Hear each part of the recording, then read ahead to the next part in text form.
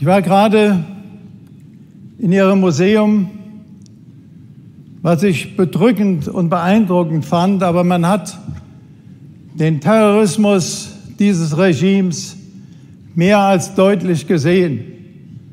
Und meine Damen und Herren, ich würde mir wünschen, dass in Europa noch mehr diese Bilder gezeigt werden, welch grauenhaftes Regime hier im Iran regiert und dass es dringend notwendig ist, dass dieses Regime abgelöst wird.